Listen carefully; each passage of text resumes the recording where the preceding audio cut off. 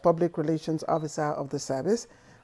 Abdullahi Maiwada, list husked brown rice, grain sorghum, millet, maize, wheat and beans, which previously had tariff rates of 35, 5, 5, 20 and 20% respectively as items that will enjoy the 0% regime,